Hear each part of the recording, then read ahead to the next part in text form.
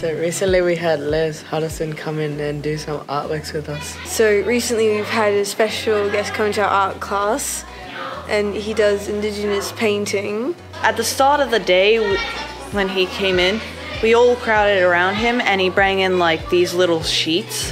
And then once we sat down with him, he showed us how to make it, and then we got to work on it immediately.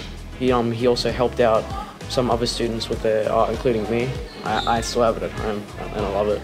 And I really like it because it's different to me.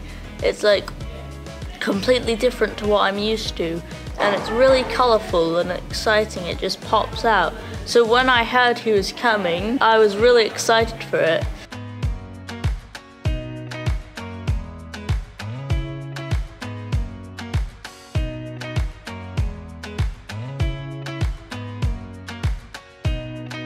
He taught us how to make kangaroos. There was a bird, and there was also a fish. And I did a frill-neck lizard, which was really fun. I decided to go for the barramundi because it was the easiest one for me to find, and I like barramundi. Um, like it was a good experience, like watching him do it because he was doing it. He like he did his designs like the silhouette really fast. Since I also learned a lot from him, I've also been trying it out on my own at my own house. It's very, very like, very clean. His, his strokes are amazing. Just like the dot works, like how he does it and that, like where to put him. Uh, my favourite part was being able to see someone who's very, so good at it.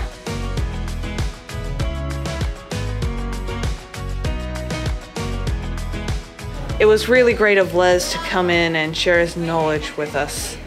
It's really nice to have someone come in and actually take the time to show you how to do things like that. I would just say thank you, like for giving me that experience. Like it's a really good one. Well, it was really fun to have Les come in and try drawing in different styles, like being able to draw what we see on cave paintings and such.